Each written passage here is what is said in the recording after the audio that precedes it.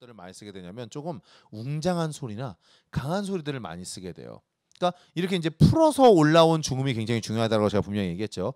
풀어서 올라온 중음이 된다면은 이 중음을 또 강하게 만들어줘야 되는데 자 여기서 이제 저음과 중음이 다른 게 나옵니다. 뭐가 다르냐면 저음은 성대 자체가 텐션이 워낙 좋다 보니 저음 자체가 성대를 많이 쓰니까 저음의 성대만 강해져도 얼마든지 소리가 세게 나오지만 중음부터는 성대가 세지면 오히려 목을 더 많이 잡을 수가 있기 때문에 무엇이 강해져야 된다?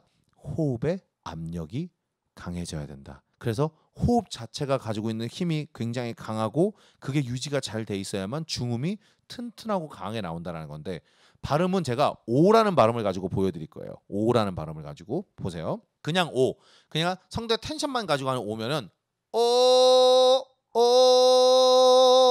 오 벌써 듣기에도 힘들어 보이죠. 오 올라가면 올라갈수록 힘들어져요. 근데 이 오를 아까 말했던 호흡에서부터 압력을 줘서 만드는 오가 아닌 호로 한번 만들어 볼게요. 그러면 호 벌써 소리가 어때요? 튼튼해졌죠. 그리고 단단하게 이렇게 딱 붙는 소리가 아니라 원통형의 이렇게 기둥 같은 소리 느낌이 들릴 거예요. 호, 호. 자, 그리고 이 소리 한번 잘 들어보세요. 이 압력으로 만들어진 중음은 아주 고음으로 잘 갈 수 있는 그런 뭐랄까 그런 끼를 가지고 있어요. 들어보세요. 호 여기서 제가 조금만 바이브레이션이나 이런 거를 high한 느낌으로 주면 호. 자, 지금 잘 들으셨어요? 소리가 어떤 느낌이에요? 열리는 느낌이 들죠. 닫히는 느낌이 아니라 호.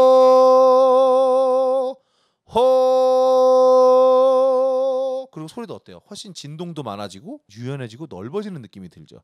자, 이게 바로 고음으로 가는 키포인트가 되는 거예요. 자, 제가 방송에서도 많이 얘기하는 소리가 열려 있는가 닫혀 있는가의 얘기예요. 성대를 너무 닫고 내버리면 어 이걸로 고음 내면 어떻게 돼요? 어 목이 갑니다. 어딘가로 가버려요 목이. 근데 자 지금 보세요. 호. 자 이 소리도 두 가지가 있어요.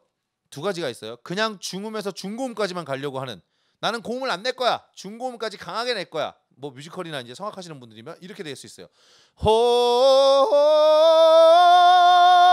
압력만 계속 세게 줘서 성, 성량을 크게 만들고 소리 폭을 넓게 내 갖고 강하게. 근데 어때요? 타이트한 느낌보다는 훨씬 튼튼한 느낌이 들죠. 호 진동도 훨씬 강하고 고음으로 가고 싶다. 자 들어보세요. 호 훨씬 유연하게. 자 더 가고 싶다 그러면 이때 우리가 이제 배우는 게 이제 고음에서 할 거예요. 이거는 근데 맛배기로만 보여드릴 거예요. 보세요. 호 가성으로 이어지기가 위쪽에 호흡의 느낌을 써주기가 훨씬 편해진다는 거죠. 호